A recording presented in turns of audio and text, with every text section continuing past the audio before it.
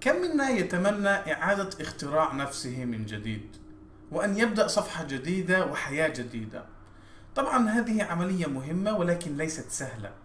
لذا في هذا الفيديو سنلخص كتاب ستيف جاردن وعنوانه إعادة اختراع نفسك. عادة أشخاص تقرر قرار كهذا بسبب وصولهم لمرحلة سلبية في حياتهم أو حياتهم أصبحت روتينية ولا يوجد أي شيء جديد أو أي إثارة في حياتهم.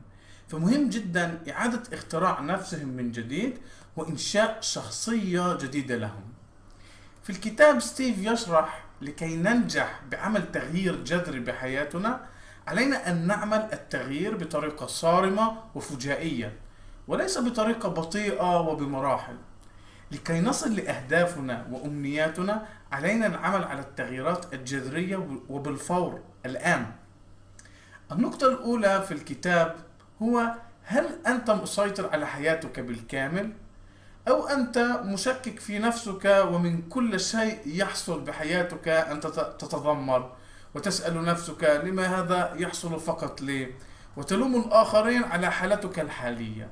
عليكم التوقف للحظة وتقييم نفسكم. ما هو وضعكم الحالي؟ هل أنتم مسيطرين بشكل كامل على مشاريعكم وعلى مشاريعكم العائلية وعلى مشاريعكم بشكل عام؟ أو هل أنتم غير مسيطرين؟ فإذا حياتك هي ليس بسيطرتك ولا تعمل أي تغيير جذري لن يتغير أي شيء ولن يتحسن أي شيء. وربما الأحوال ستسوء أكثر. وهذا ما لا أتمناه لأي شخص. الحياة لن تتغير من نفسها. عليك العمل بنفسك لتغييرها. من ثم ننتقل للنقطة الثانية والمهمة وهو موضوع ال proactivity المبادرة لإجراء التغيير في الحال ومن إرادتك الشخصية وعدم الانتظار لعوامل خارجية أو مساعدة من شخص آخر العكس من ال reactivity هل أنتم تخلقوا الواقع أو الحياة الخاصة بكم أو تتأقلموا مع الوضع الحالي بحياتكم؟ ويحثنا ستيف لنكون أكثر مبادرين في الحياة قدر الإمكان.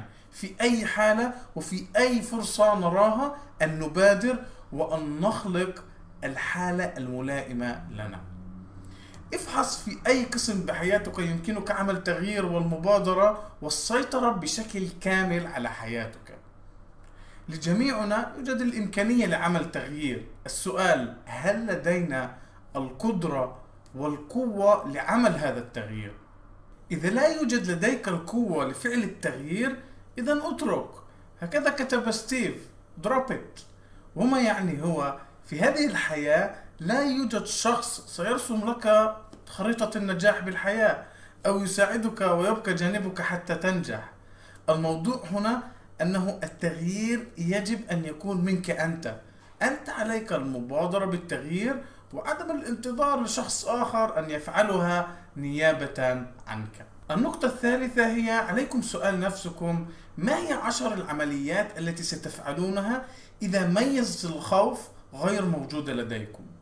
أنصحكم كتابة عشر عمليات ستفعلونها لو لم يكن لديكم ميزة الخوف. الخوف من الفشل أو من إنشاء مشروع تجاري جديد أو ترك وظيفتكم الحالية أو السفر في العالم أو أخذ قرض من البنك. هذه جميعها مخاوف.